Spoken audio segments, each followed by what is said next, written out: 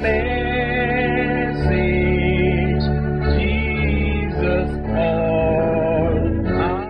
Good afternoon, everybody.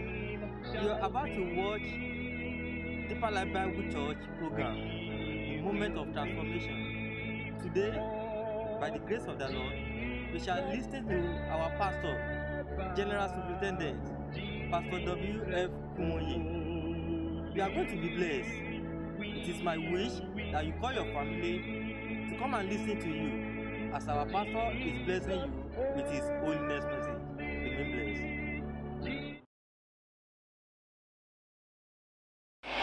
Thank you very much. You can sit down. We're looking at Mark chapter 4.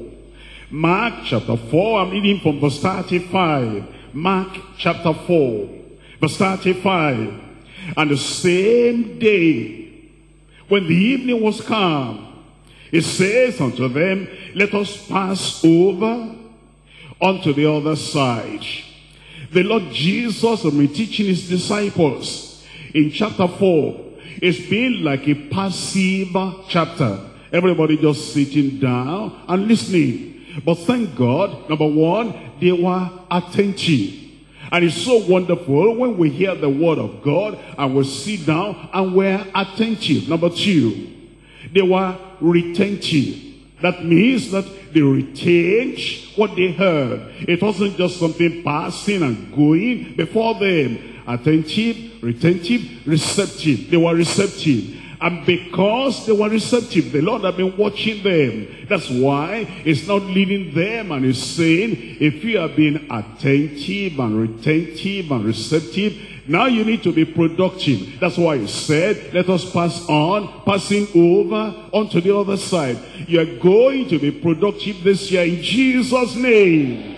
I want to talk to you from this passage on our faith journey to the promised future. A faith journey to the promised future. When Jesus Christ said to those disciples, let us pass over onto the other side. As you keep on reading and reading and reading, and you come to the first verse of chapter 5. In chapter 5 verse 1, and they came over onto the other side. I just want to tell you, there is nothing the devil can do this year to stop your progress in Jesus' name. When he says, when he gives us the word, he says, heaven and earth shall pass away, but my word shall never pass away. And it doesn't matter when he gives that word, January or February, March or April, May or June or July, August or September, October, September, or it's October, November or December. Anytime he gives the word, that word will be fulfilled in your life in Jesus' name let us pass over onto the other side. And then the word of God records, and they came over onto the other side. You are getting over to the other side in Jesus' name. Our faith journey to the promised future. There are three things we're going to look at. Number one, the purpose of his calling to an expected future. You have expectation, and the expectation of the righteous shall not be disappointed in Jesus' name. And we're talking about the purpose of his calling to an expected future. Number two, our progress with Christ towards the expedient future, the profitable future, the positive future, and the exciting future that the Lord is spreading before us. Our progress with Christ towards our expedient future. Number three is the privilege of Christians with an expanding future. An expanding future. You'll see it as they came to the other side, the future just kept on expanding and expanding. There's an extension for your life this year. An expansion for your life this year. An establishment for life this year in Jesus' name. Number one, the purpose of his calling to an expected future. Why did he say, let us pass over onto the other side? What did he have in mind? He saw the future. He knows the end from the beginning. He knows what this year will be. He knows what you are going to have. That's what the Lord is telling you ahead of time. There's an expected future and it is going to be realized this year. It will be done. Nothing will hinder it in Jesus' name. I'm looking at this once again in Mark chapter 4 verse 35. Mark chapter 4, verse 35. And the same day, when the even was come, he says unto them, let us pass over unto the other side. The question is, why will he pass over to the other side? None of those disciples knew what was going to happen. But Jesus knew what is going to happen. Let me read to you Jeremiah chapter 29. Reading there from verse 11.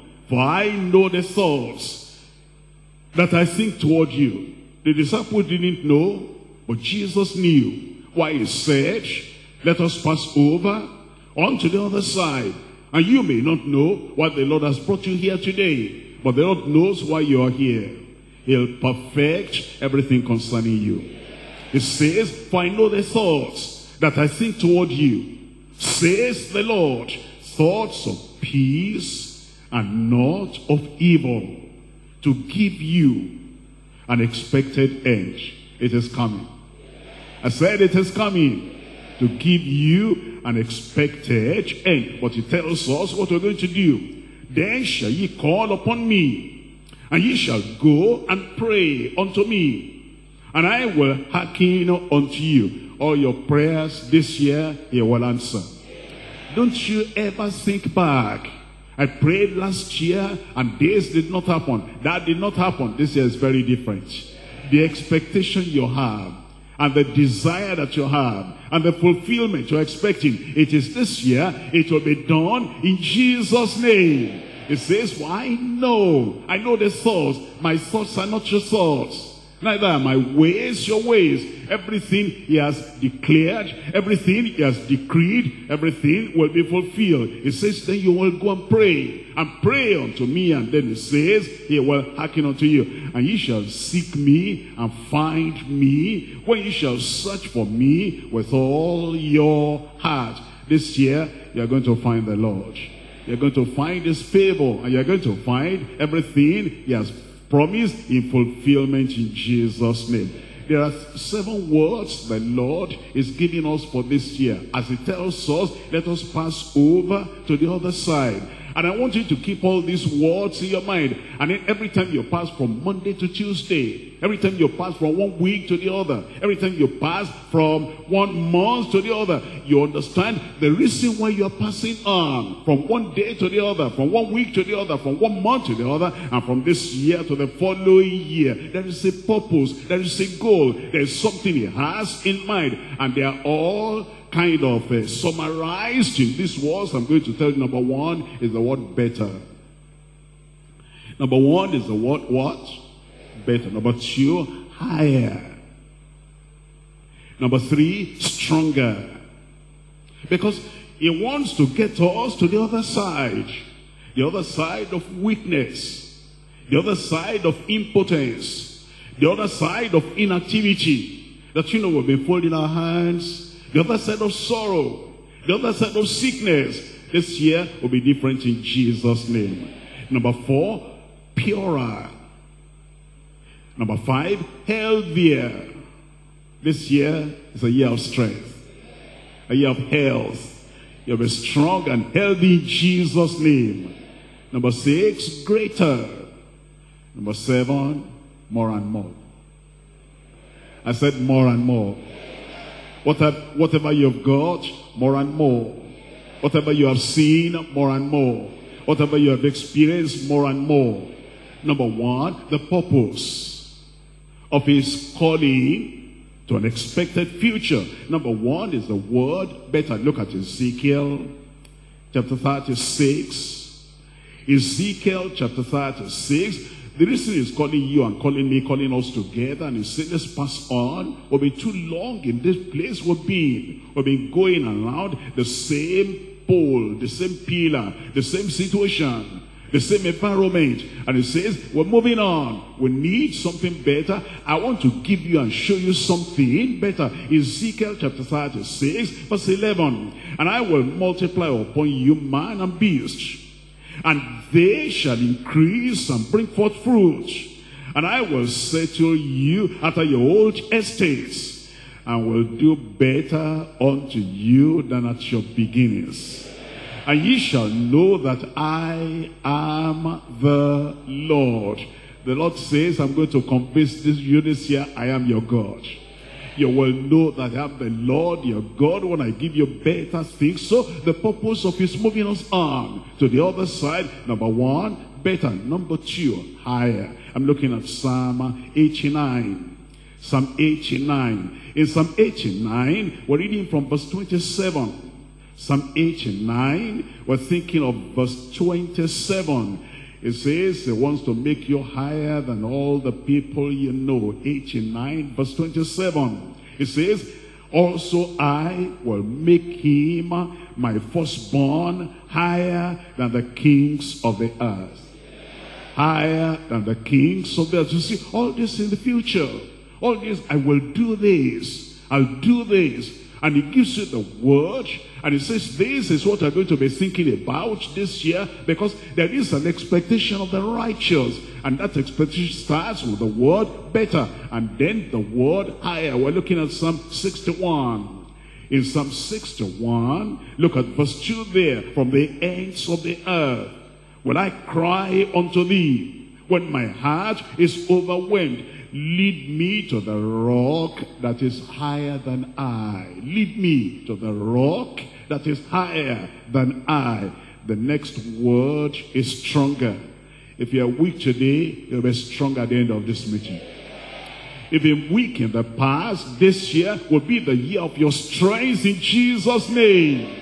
All the things that came to weaken your life and weaken your family and weaken everything around you and weaken your hand. All those things will be blown away by the power of the Holy Ghost even today in Jesus' name you will be strong. If you were strong before, you will be stronger. It tells us in Job chapter 17, Job chapter 17, and there we're reading from verse 9. Job chapter 17. We're looking at verse 9. 17, verse 9. The righteous also, the righteous also. I want to know whether the people I'm talking about are there, the righteous also we shall be righteous. I said be righteous. By the cleansing of the blood of the Lamb, we shall be righteous. By the help of the Holy Ghost, living and abiding within us, it'll make us to live a righteous, victorious, pure life in Jesus' name. And as it brings us to this side of righteousness, look at what it does. In verse 9, the righteous also shall hold on his way. And he that has clean hands shall be stronger and stronger. Everybody say stronger and stronger. Now you must believe the promise of God. It says, I'm taking you to the other side. And then, but you know, the people that always say, I am weak, I am weak. You know, I'm changing my language. How many of you are changing your language? You're changing your thinking. It's your thinking that brings what you say. Out of the abundance of the heart, the mouth speaketh. Two cannot talk together except be agreed. Agree with God. God says this year is better. God says this year is greater. God says this year you are stronger. And when you agree with God, you'll be stronger and stronger in Jesus' name. Psalm 105, Psalm 105, we're looking at verse 24. Psalm 105, verse 24. And he, and he increased his people greatly and he made them stronger than their enemies. He made them stronger than their enemies. That's for this year. We've been waiting for this for a long time. For a long time, our enemies have been stronger than we were. But now this year, something is going to turn around. The strength will leave the camp of the enemy and the people of God, the righteous, will not be stronger than their enemies in Jesus' name. Number four, purer. That is whiter and purer. Whiter and purer. We're looking at Psalm 51 verse 7. Psalm 51 verse 7. Here is the prayer of the man of God, of the king of Israel. And here is what your prayer ought to be. And since God says to answer your prayer, this is the year of purification. It's the year of sanctification. It's the year of purity. It will happen in our lives. I'm looking at Psalm 51 verse 7. Purge me with hyssop and I shall be clean. This year you are clean. I said you are clean. all the pollutions that the enemy tries to put upon you, which is not yours, it will be cleansed away in Jesus' name. It says, wash me and put me with hyssop, and I shall be clean. Wash me, and I shall be whiter than snow. Wash me, and I shall be whiter than snow. It's the year of holiness. It's the year of purity. It's the year of righteousness. And you're purer than you have ever been in Jesus' name. Now you're going to be healthier this year. I said you'll be healthier this year. Any kind of sickness or weakness or infirmity or oppression abiding your life, today we're going to shake everything away. And you go out of that gate today, you go out of this place today, a healthier person. Because every sickness the Lord will remove away from the midst of us. Your wife will be healthy. Your husband will be healthy. Your children will be healthy. Your pastor will be healthy. Look up at me here. Look up at me. Your father in the Lord will be healthy. And like father, like children, all of us, we're going to be strong and healthy in Jesus' name. Because you know, it is the, this is the strongest year of our lives. The healthiest year of our lives. And the most prosperous year of our lives in Jesus' name. This year is different. I said this year is different.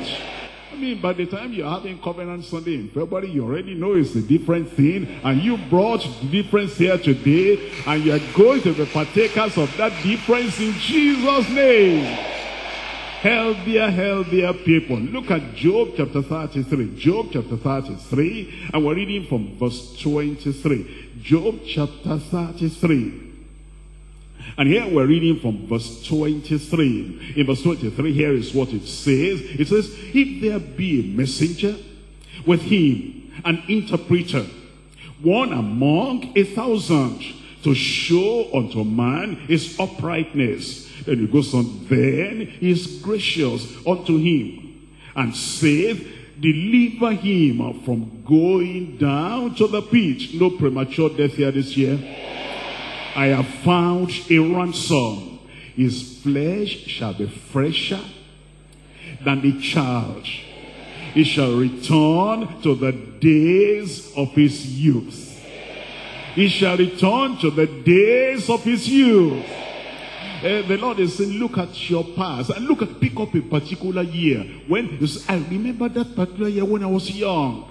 No headache, no stomach problem, no weakness, nothing at all. I was as strong as, what do they say now? And healthy. And then the Lord is saying, you are returning back to that day of youth when you are strong and healthy, no problem, no heartache, no problem, no sorrow at all, and no sickness at all, and you are just strong, and you can run, you can run a thousand miles at that time. That's what you thought. And the Lord is saying, those days have come back again in Jesus' name. Because his flesh shall be fresher than the child's, he shall return to the days of his youth. Look at verse 26. He shall pray unto God, and he will be favorable unto him. The Lord will show you favor. And he shall see his face with joy, for